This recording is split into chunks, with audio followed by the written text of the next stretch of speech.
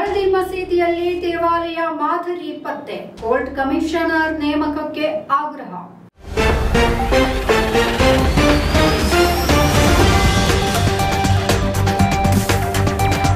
ನಾನುವಾಪಿ ಮಸೀದಿ ಪ್ರಕರಣದಲ್ಲಿ ಕಮಿಷನರ್ ಅನ್ನ ನೇಮಿಸಿ ಸ್ಥಳ ಪರಿಶೀಲನೆಗೆ ಅವಕಾಶ ಮಾಡಿದಂತೆಯೇ ದಕ್ಷಿಣ ಕನ್ನಡ ಜಿಲ್ಲೆಯ ಮಳಲಿ ಮಸೀದಿಯಲ್ಲಿ ದೇವಾಲಯ ಮಾದರಿಯ ರಚನೆಯ ಪತ್ತೆಯ ಹಿನ್ನೆಲೆಯಲ್ಲಿ ಕೋರ್ಟ್ ಕಮಿಷನರ್ ನೇಮಕಕ್ಕೆ ಬೇಡಿಕೆಯನ್ನ ಇಟ್ಟಿದೆ ಈ ಕುರಿತಂತೆ ಹಿರಿಯ ನ್ಯಾಯವಾದಿ ವಿವೇಕ್ ಸುಬ್ಬಾರೆಡ್ಡಿ ಕೂಡ ಬುಧವಾರ ಹೈಕೋರ್ಟ್ ಮುಂದೆ ಬಲವಾದಂತಹ ವಾದವನ್ನು ಮಂಡಿಸಿದ್ದಾರೆ.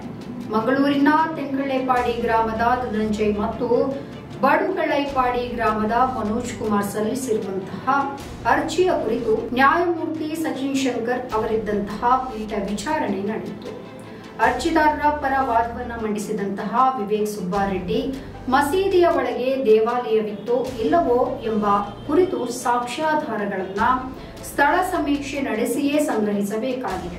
ಅದಕ್ಕಾಗಿ ಮಳಲಿ ಮಸೀದಿಯ ಪರಿಶೀಲನೆಗೆ ಕಮಿಷನರ್ ನೇಮಕ ಮಾಡುವ ಅಗತ್ಯವಿದೆ ಎಂದು ಹೇಳಿದ್ದಾರೆ. ಸಾರ್ವಜನಿಕ ಪೂಜಾ ಸ್ಥಳ ಕಾಯ್ದೆಯು ಈ ಮಸೀದಿಗೆ ಅನ್ವಯಿಸುವುದಿಲ್ಲ. ಯಾಕಂದ್ರೆ ಮಸೀದಿಯವರೇ ಹೇಳಿರುವ ಪ್ರಕಾರ ಅದು ಏಳ್ನೂರಕ್ಕೂ ಅಧಿಕ ವರ್ಷಗಳಷ್ಟು ಹಳೆಯದ್ದಾಗಿದೆ. ಅಲ್ಲಿ ಸಾವಿರದ ಐನೂರಕ್ಕೂ ಅಧಿಕ ವರ್ಷಗಳ ಹಳೆಯ ದೇವಾಲಯವಿದೆ ಎಂದು ಹಿಂದೂಗಳು ಹೇಳುತ್ತಿದ್ದಾರೆ.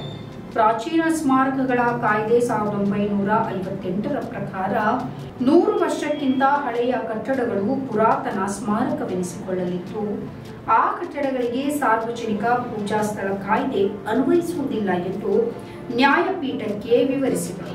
ಮಸೀದಿಯ ಆಡಳಿತ ಮಂಡಳಿ ಮಧ್ಯಂತರ ಅರ್ಜಿಯನ್ನು ಸಲ್ಲಿಸಿ ವಿವಾದಿತ ಸ್ಥಳ ವರ್ಕ್ ಆಸ್ತಿಯಾಗಿದೆ. ಜೊತೆಗೆ ಸಾರ್ವಜನಿಕ ಪೂಜಾ ಸ್ಥಳ ಕಾಯ್ದೆಯ ಅಡಿಯಲ್ಲಿ ಅಸಲು ದಾವೆ ವಿಚಾರಣೆ ಮಾನ್ಯತೆ ಹೊಂದಿಲ್ಲ ಎಂದು ವಾದಿಸಿದರು. ಮತ್ತೊಂದೆಡೆಯಲ್ಲಿ ಮೂಲ ದಾವೆದಾರರು ಮಧ್ಯಂತರ ಅರ್ಜಿಯನ್ನ ಸಲ್ಲಿಸಿ ಮೊದಲು ಕಮಿಷನರ್ ಒಬ್ಬರನ್ನ ನೇಮಕ ಮಾಡಿ ಪರಿಶೀಲನೆಯನ್ನ ನಡೆಸುವಂತೆ ಕೋರಿದರು.